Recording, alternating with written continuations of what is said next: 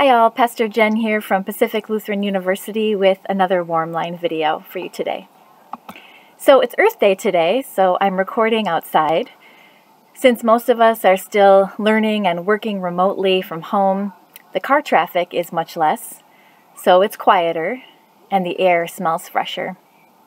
This is apparently a global phenomenon as industry and everyday movement has slowed way down. You can hear more birds chirping in the quiet.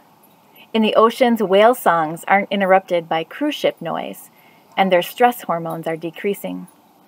Air pollution has decreased even in cities like LA, notorious for their bad air quality. As one scientist put it, nature is taking a deep breath while we are holding ours. I feel more aware of nature during this time. Before now, I hadn't really spent so much concentrated time in my own neighborhood. I'm usually gone during the day and out in the evenings with friends or with events at school. But now I take walks every day around my community and I'm noticing new things. A couple blocks away, they have chickens. Lots of folks are putting together amazing gardens this year. I see homes with kids and the signs they make for their windows, thanking healthcare workers and encouraging all of us to stay safe. Ironically, in this time of so many disconnections, I also feel more connected with nature and with my community. With the blessing of such amazing weather the past few weeks, I also see more of my neighbors. We're careful to cross to the other side of the street or give each other a wide space as we pass, but we see each other, and all of our eyes seem more open. When I connect with friends over Zoom or for a physically distant picnic in the park, it's funny what we talk about. Not much to share about what we've been doing, as all of our days are looking pretty much the same. I share about the cherry tree that is blooming outside of our window, or the varieties of birds that Deb has encouraged to come to our balcony by putting out birdseed treats. Friends talk about the squirrel crow face off that they witnessed or the tulips in their yard that are just about to burst open. Nature is our entertainment these days. But I also think it's much deeper than that. The earth is grounding us, literally giving us a place to root ourselves when so much is feeling untethered. And the earth is delighting us with its stunning beauty and its calming, deep breaths. I don't remember where I first saw this idea of a window prayer, but I think it's fitting as a lens that is common for most of us these days. So I invite you to pray along with me. So if you're near a window, go ahead and look out as you pray.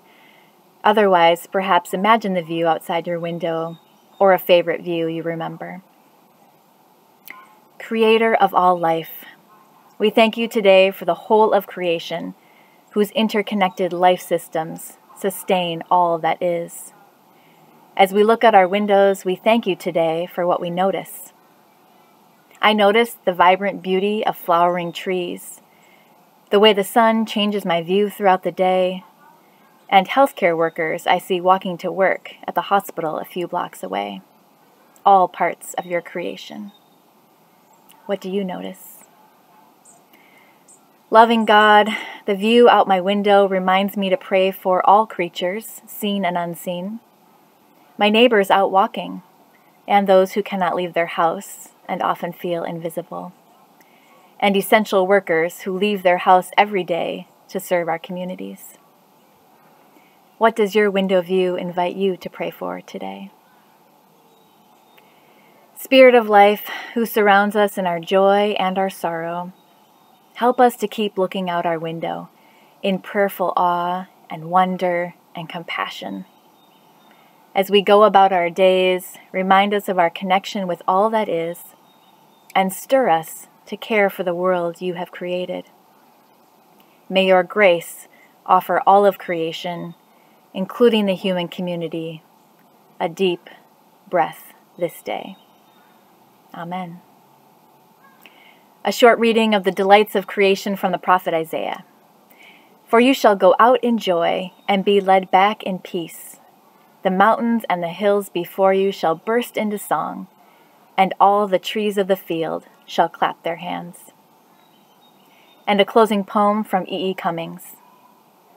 I thank you, God, for this most amazing day, for the leaping, greenly spirits of trees, and a blue, true dream of sky, and for everything which is natural, which is infinite, which is yes. May the God of all creation ground you in the sturdy earth and breathe a breath of peace in you this day.